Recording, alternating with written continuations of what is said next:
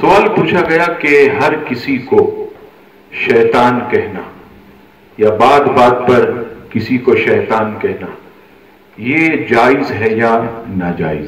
Video دیکھنے کے ساتھ ساتھ یوٹیوب چینل کو سبسکرائب کریں اور بیل آئیکن پر ضرور کلک کریں اور ویڈیو کو لائک اور شیئر کرنے کے ساتھ ساتھ اپنے کمنٹس دیں۔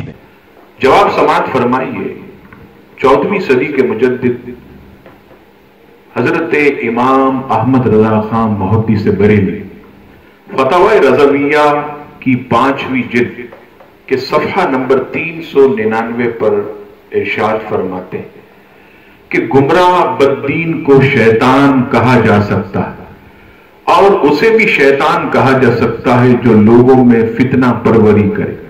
ادھر کی ادھر لگا کر فساد ڈلوائے، جو کسی کو گناہ کی ترغیب کے ساتھ لے جائے وہ بھی شیطان ہے۔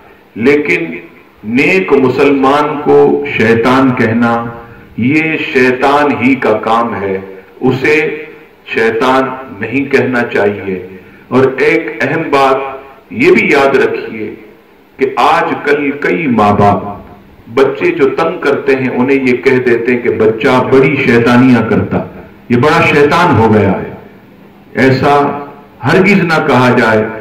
بلکہ یہ کہہ دیں کہ بچہ شرارتیں بہت کرتا ہے، ہمارا بچہ تنگ بہت کرتا ہے، لیکن یہ نہ کہا جائے کہ شیطانیاں بہت کرتا ہے۔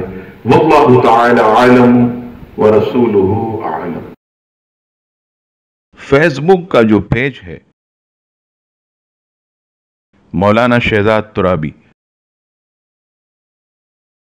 اس کو لائک کریں، فالو کریں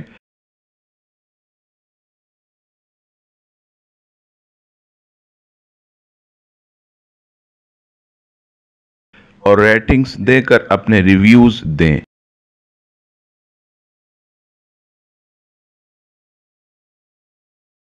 ٹویٹر پر مولانا شہزاد ترابی کو فالو کریں۔